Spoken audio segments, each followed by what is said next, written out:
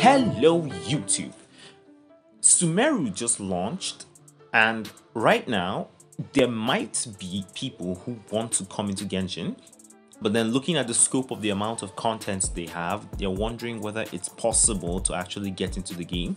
And you're probably on YouTube because you don't want to make a mistake when you're handling your account, but you're seeing a lot of videos with tips about what to do, but not really guiding you on how to handle the game. I will say this right now, this is 2022, even if it's 2026, you can still get into this game and you will still enjoy it. Even if the game is not as popular as it is, maybe future in the future, you will still enjoy this game.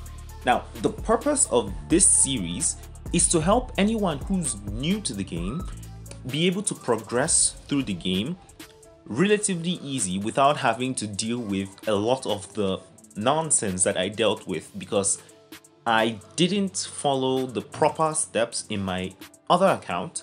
So right now I'm still struggling to build that account up, which is why this account is new and built.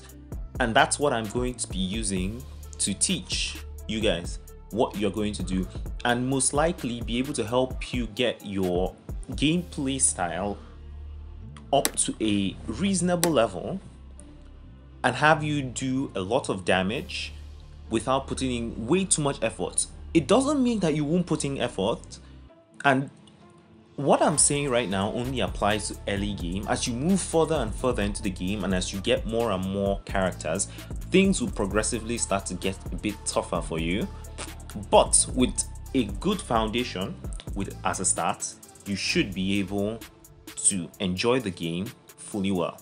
So, welcome to the series. I hope you enjoy it. Let's go.